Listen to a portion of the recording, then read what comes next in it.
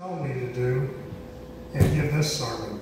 Unpracticed, unread, how it's going to go, but in the name of Jesus, I think the message is significant. And given the time we have, I have to consider that too. I know we've been busy worshiping and having a good time today, so hallelujah. Um, so praise the Lord. Um, the more we're divided, the less powerful we become. Uh, we're not going to be anything. You can take that down. It's not going to be anything like that today. Um, have you ever noticed that that that in our lives that that situations try to divide us from our loved ones? They try to divide us from from our church. They try to divide us from from from a, a job we know that's good. I've seen people leave good jobs for no reason. They have a reason. Something divided them from that job. You know, uh, happy all of a sudden, and all of a sudden just disgruntled, you know. And usually what, what causes is the root of division is pride. Okay? And we need to be careful with that.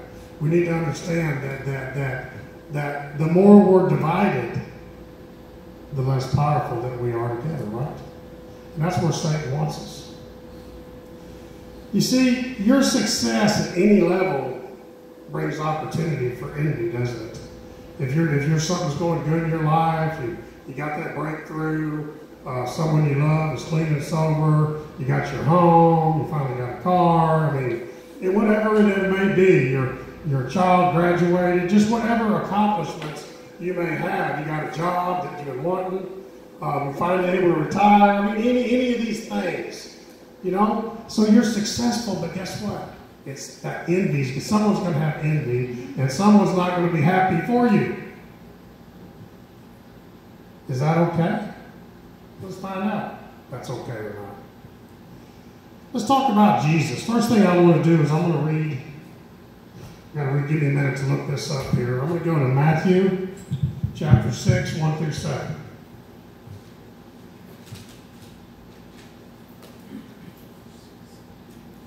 See how fast I can look something up.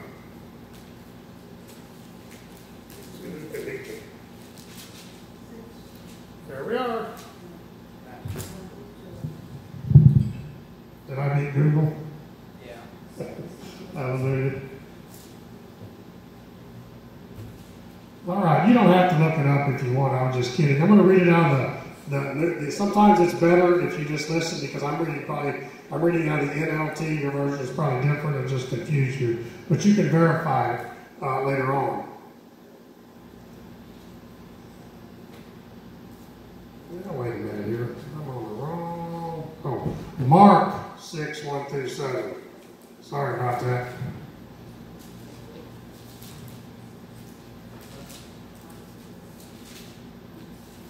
Talk about Jesus. We're going to talk about.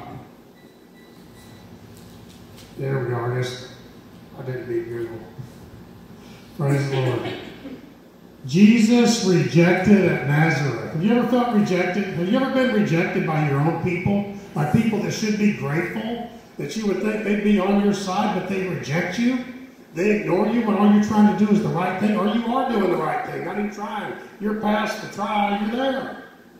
Well, don't feel alone, because there was one greater than us that was rejected by his own people. What a tragedy it was for them, what they missed. Can you imagine? You know how good it is to come home and all you want to do and the gifts you want to bring and how you want to come to the house like Jesus did go back to his hometown. He's like, you know what? I've been baptized. I got the Holy Spirit's on me. The healing's there. I'm going to go home and bring this to my own people. Thank you, Father. What an honor. What he must have felt like knowing that the hand of God was on his life. That when, when he come up out of the water, when John the Baptist baptized him, the Holy Spirit sent on him. You see that? He knew. He, he knew who he was. He had healed many, and he knew that God was with him. And now it's time to go to Nazareth and bless his own people. Look up his friends, his neighbors, and heal them. And just, he just knows in his heart he's going to lead them, correct? That they're they're going to be receptive. But guess what? They were not receptive. Jesus left that part of the country and returned with his disciples to Nazareth, his hometown. The next Sabbath, he began teaching in the synagogue, and many who heard him were amazed. They asked, Where did you get all this wisdom and power to perform such miracles? Then they scoffed at him. He's just a carpenter, the son of Mary, and the brother of James and Joseph, Judas, and Simon, and his sister live right here among us. They were deeply offended and refused to believe in him. Do you know what being scoffed at means? Do you know what scoffed means? It was made fun of. They made fun of him. He's trying to help them and heal them, and they're making fun of him. Then Jesus told them, A prophet is honored everywhere except in his own hometown, among his relatives and his own family. Sound familiar?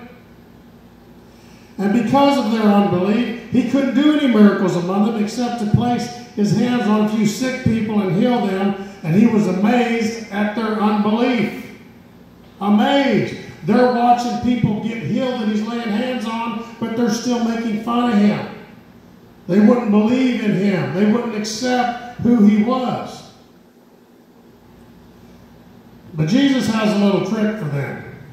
Then it goes on to say in verse seven, in verse on down here goes six. Then Jesus went from the village to village teaching people, and he called his his twelve disciples together and began sending them out two by two.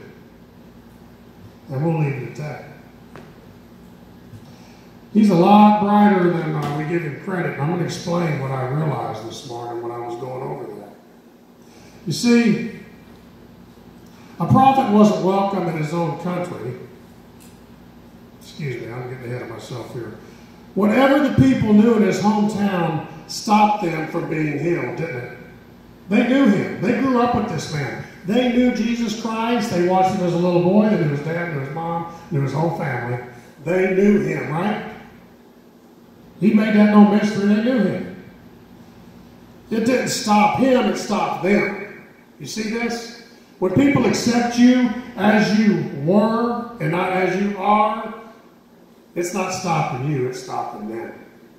Do you see that? Don't let it stop you because they're the ones getting stopped by blessing. You're not coming to bring harm, you're coming to bring prosperity, blessings, and healing in a way that's better than they know into their life.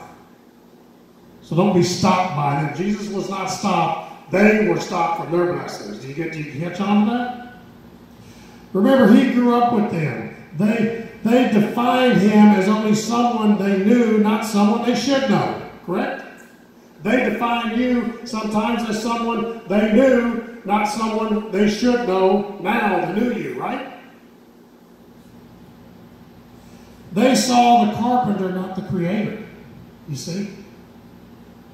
What they see you, they see the, the, the, the person that probably lost in different ways and doing different things. Who knows? Who knows? Maybe you never did nothing wrong. The only thing you ever did wrong was you didn't fulfill your life quick as you should have, just bow to the Lord Jesus, like so many people. But regardless, they don't realize who you are, and they didn't realize who He was. They thought that He was good enough to fix their house, but He wasn't good enough to fix their lives. Right? That's what they were saying. He's a carpenter. They give him credit for being a carpenter, but they were not going to give him credit for being a creator. But isn't a carpenter kind of a creator? Right?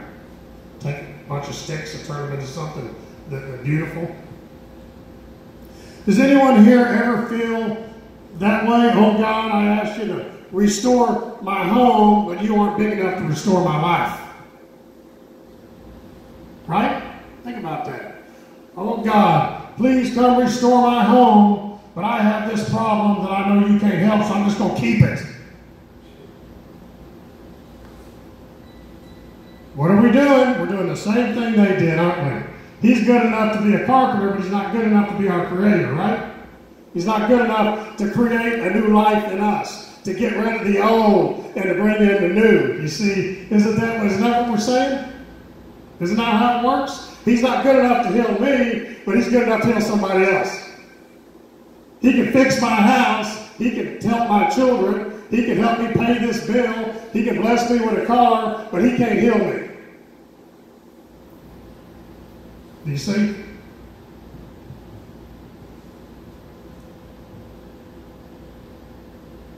I ask you to restore my child, but I don't believe that you have the power to heal my life, to change what I need to change, to overcome what I need to change. You're a great carpenter, but you're not going to be my God. Do you see the difference? Do you ever feel that way? Do you ever, is that the way how it goes sometimes? I've been guilty of that. Pray for my children, but then I don't pray for me. Why? Because I'm looking at a carpenter, right? That's what's happening at the time, right? If I if I was wise, I would and I would and I and every and I was living my life as I should in my thoughts in my mind, I would realize that He's my creator. And I'd be praying for me. Does anyone ever not pray for themselves? And they pray for someone else? That's what's happening. You see that? You making him a carpenter, not a creator.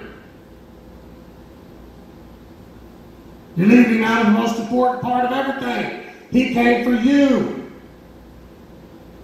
What he does with you is after you realize he's the creator, after you accept him as your healer, after you accept him in all powers and positions of your life, that he can do anything. That is when he's going to use you. And I'm going to show you why he did what he did. You're going to understand what God explained to me today. Mark 6 3 says that Jesus' own people were offended by his wisdom and miracles. Right in the Word of God, it says they were offended.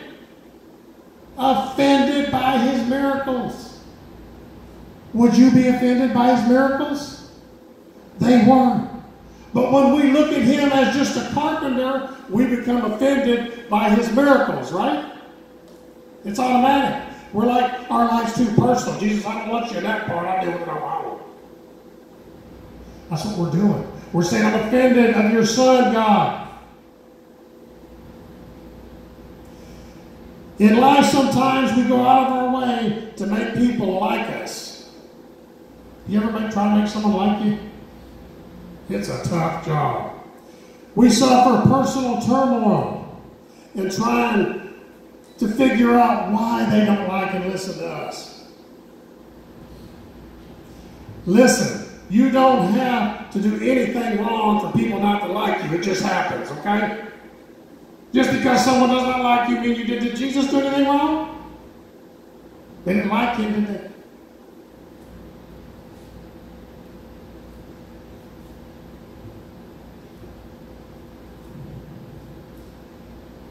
Jesus came to save, heal, bless, and prosper, and he has plenty who don't like him. But he didn't let them live his life, he let the Father live his life. Do you understand that? You see, a prophet wasn't welcome in his own country, so Jesus put his spirit on us. This is this and this put his spirit on us so we could put it on them. He put it on his disciples so they could put it on, on the people that would listen to him. Because this way, they don't recognize the giver until after they know him through us. Do you understand that? So, some people are offended by Christ. But guess what? Christ put his spirit on us. I don't believe in Jesus. But you know what they might believe in? Is they might believe in you. And through you, they could believe in Jesus. You see, Christ was smart enough to know that the people that didn't like him didn't have to know him. You understand that? They could meet him later through the other people. So he sent them out. And guess where they went? Right back to Nazareth. See? But they accepted him and they didn't accept Christ. You see the difference? We are the people he's sending out. That is us. That is why we must trust our Creator so that He can use us and reach these people that don't accept Him already. You see, a lot of people, most people I think heard about Jesus Christ just like they have McDonald's, correct? Some people may not like McDonald's. I don't like that. But you get them one of them big red sandwiches when they're hungry and bring it to them and see what's happening. All of a sudden, they might, I don't remember being that good. You get it? You understand who we are and why we are?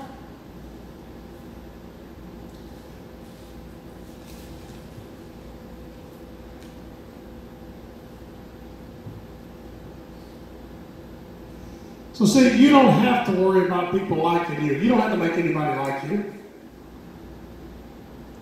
You let Jesus live in you, and God will do the rest. Sometimes people judge us and say, Look at him, he thinks he's really something, or he, she thinks she's really something. You ever been around that before? You heard that? God says that you are something. You are really something. So, what's wrong with claiming who you are in Jesus Christ? I do think I'm something. I'm a child of the Most High. In the name of Jesus, I am somebody. I am a dignitary of God Almighty. Yes, I'm something. Thank you for noticing.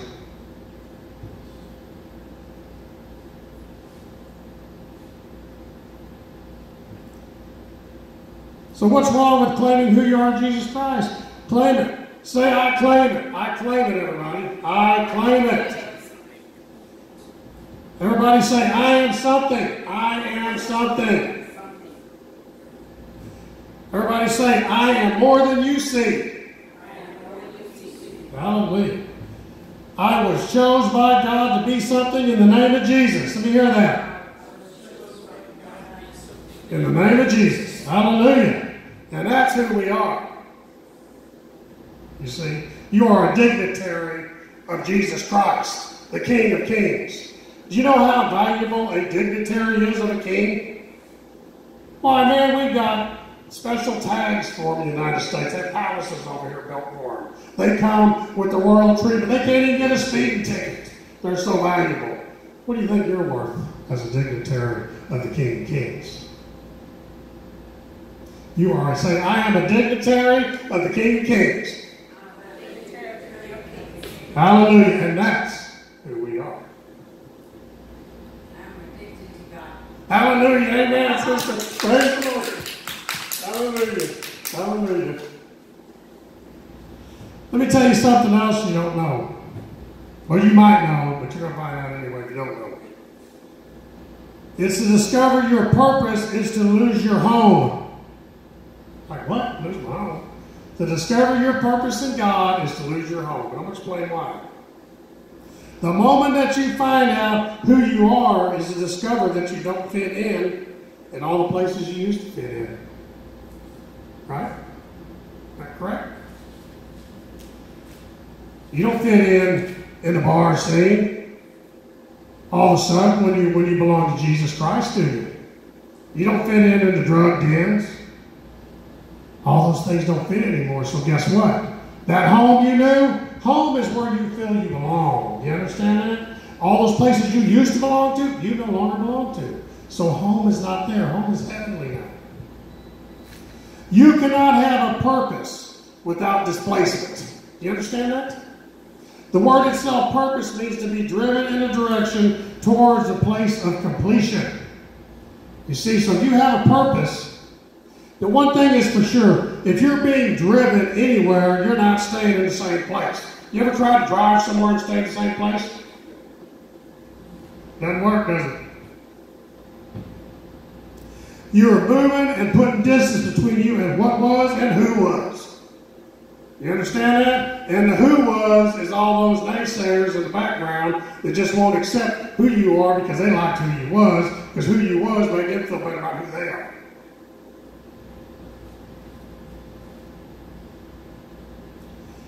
And heading towards what is and what will be your future. That's what that's our purpose. That's what we're driving for. When you get in the car with Jesus, you leave behind the people from your hometown that become offended by your new walk and your new talk and your new prosperity and the life of joy and happiness. Yes, leave behind your home. It is time to say, I will leave behind my home in the name of Jesus. Say. I will leave behind my home in the name of Jesus. Because with Jesus, I have a purpose. With Jesus, I am the purpose. Hallelujah.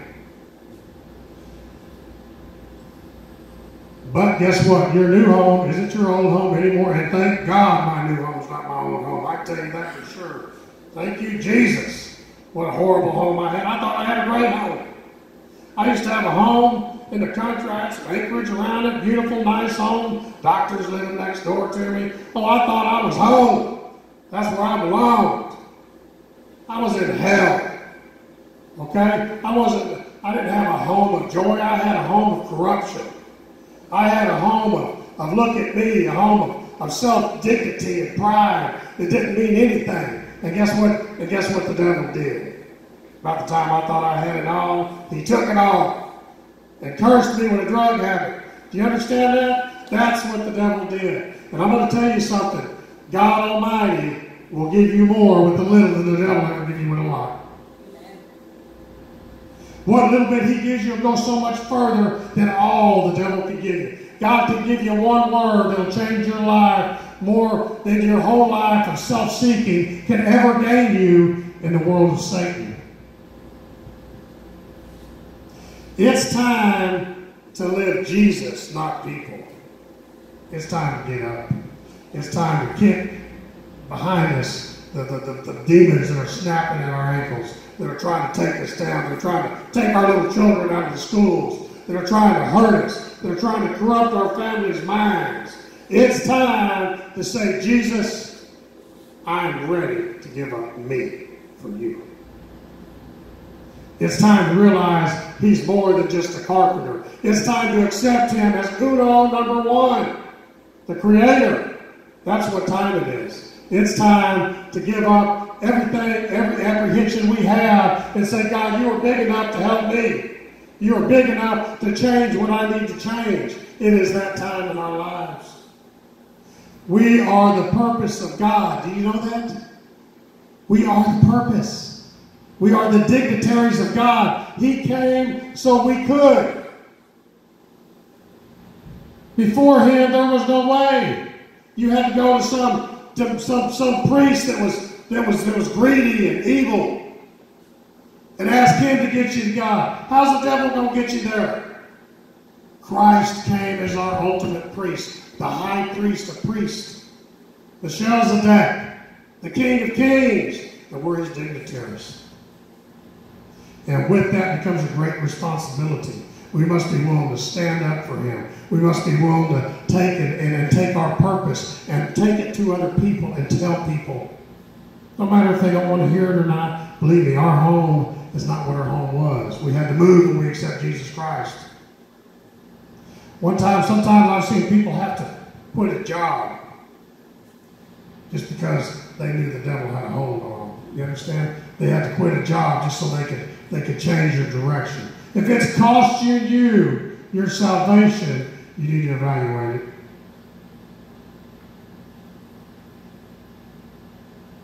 Maybe it's you you're trying instead of letting God have it.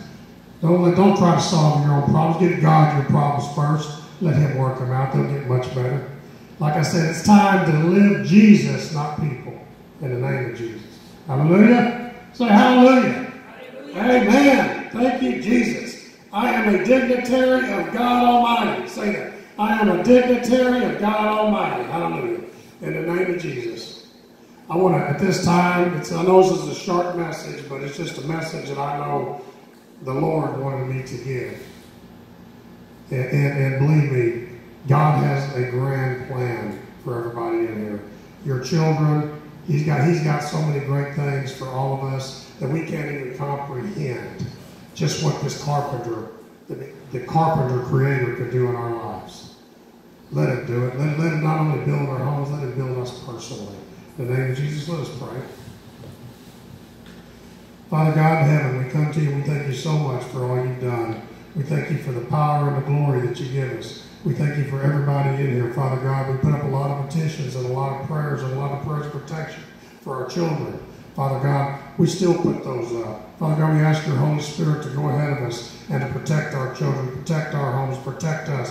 Father God, we receive you as a people into our hearts and into our lives, in the deepest, darkest areas of our life, Father God. We want you to come in there and heal us. We want healing from you, Father God, and we claim victory in the name of your Son, Jesus Christ. Amen. Hallelujah. Praise God. Thank y'all so much.